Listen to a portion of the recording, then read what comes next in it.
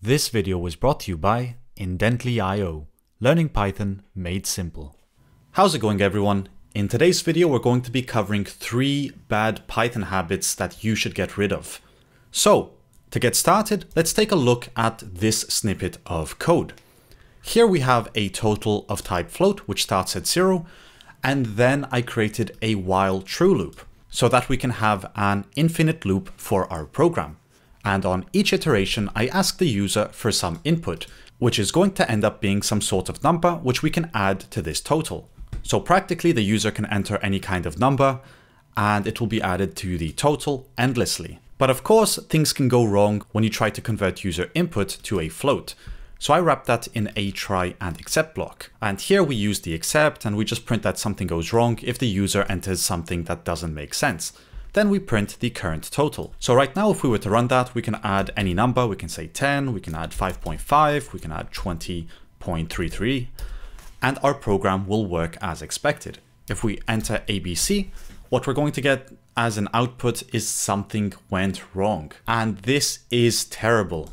I never recommend you put something so generic as something went wrong, or that you ever use the bare except block. This is the laziest approach to creating a program. If I ever saw this in a script, I would think that someone paid you maybe $1 to generate this script. I would not take the script seriously. This is something I'd probably do if I was drunk and tired. Even accepting the exception as E is a much better approach than just accepting the exception. Although even this is an incredibly lazy approach. But at least with this approach you can use the error message and you can log it somewhere so that you can fix it later. So now the next time we run this, we can do something such as adding hello, and this time we will get a value error back, or at least the representation of the error message. But now that we have the information of something that can potentially go wrong, as a professional developer, the best thing to do is to be specific about how to handle that error. So instead of just accepting everything as an error, we're going to accept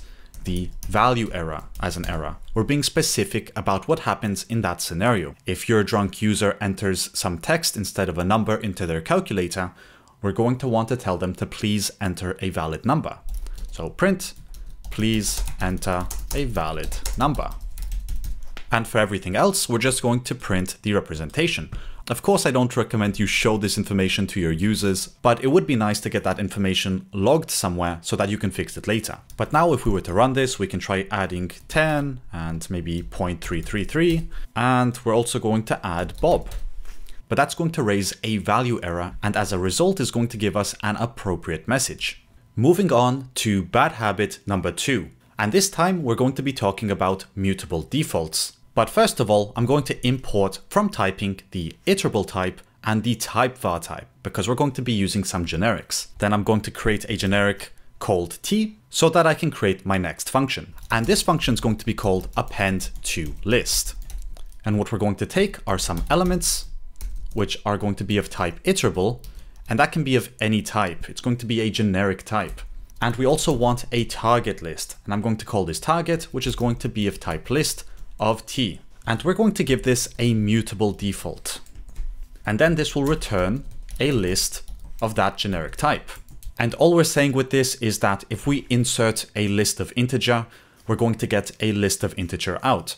T is whatever type of element we insert to that list. And that's much more specific than inserting list of any, because any doesn't really say anything about the data type, besides that it can be literally anything in the universe. So we want to be more specific by saying whatever we put in is what we want to get out. Anyway, what we're going to do in here is type in target.extend and we're going to extend that list with the elements and then we're going to return that target. And just like that, we created a function that can add any amount of elements to a target list. If the target list doesn't exist, it's going to create a new list. So right now, let's try to print the result of this append to list. And what we want to do is insert an iterable of 1 and 2. And we're not going to provide a target list here because we wanted to use the default. Right now, if we were to run this, what we would get back is a new list with the values of 1 and 2. But what if we want to create a new list? And this time we want to create it with the values of 3 and 4. Well, what you're going to notice is that it's also going to remember the values from the previous operation. And we do not want this because it looks like some very buggy behavior. Each time we use this function without providing a default, we're going to want it to create a new list. We don't want it to reference the old list. But something you'll notice is that if you were to actually pass in your own list, and we're going to insert the values of 5 and 6, what you're going to notice as soon as we enter our own list is that the buggy behavior is going to go away. And this is the wrong location. This should be inside the append to list function.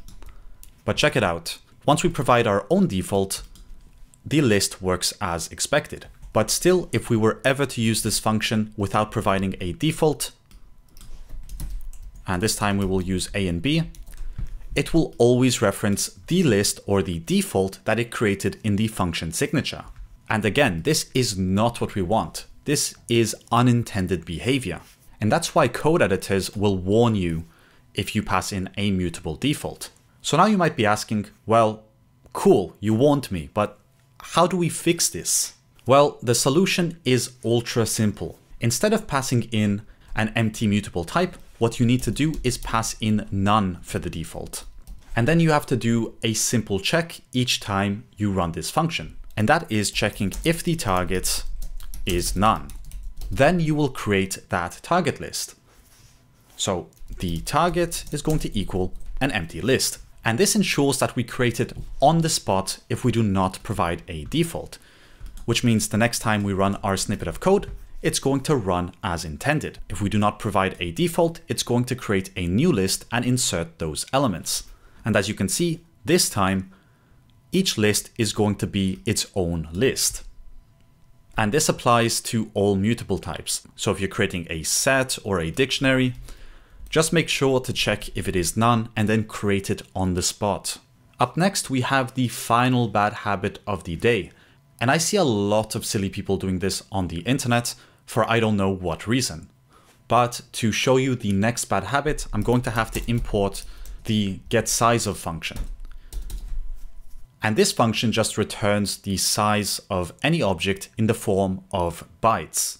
Anyway, for this example, we're going to create something called myRange, which will be of type range, and that's going to equal a range of 1 million. And I'm going to be using this exponential power to make it easier on myself. I mean, yes, you can also do this in scientific notation and then convert this to an integer. That also works. But range takes an integer, so I'm just going to be using the power of 6.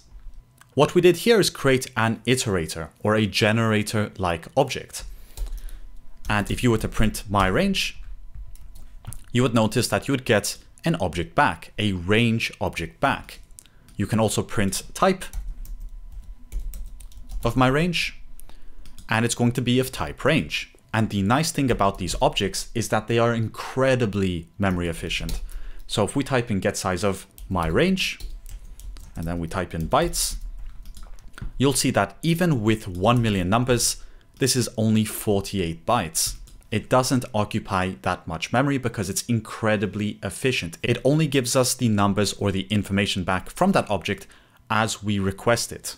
Now, what I see a lot of silly people on the internet do is convert these objects directly to a list or to a tuple or even to a set for absolutely no reason. So let's copy this line of code, paste it right under, and this time we're just going to call it my list.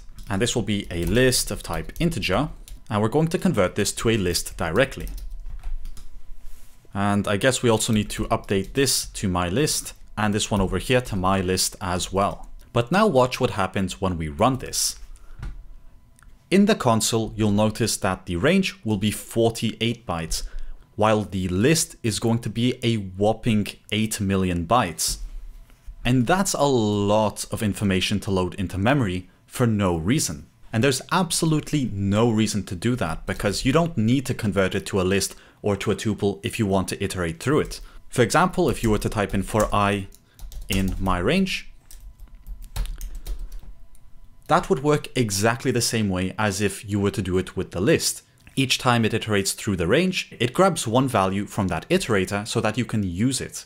And I'm not saying that ranges are faster than lists, I'm just saying that they are much more memory efficient because they do not load all the data directly into memory. Anyway, all I wanted to say is that anytime you get a generator back or an iterator back, such as a range, or maybe a map object, or even a filter object, do not convert it immediately to a list unless you absolutely have to, because these are extremely memory efficient. And by converting it to a data type such as a list or a tuple, you're loading all the information into memory for no reason. But yeah, those were the three bad habits that I see a lot of beginners do. But I'd love to hear what kind of bad habits you see other people make on the internet or even at your workplace in the comment section down below. Otherwise, with all that being said, as always, thanks for watching and I'll see you in the next video.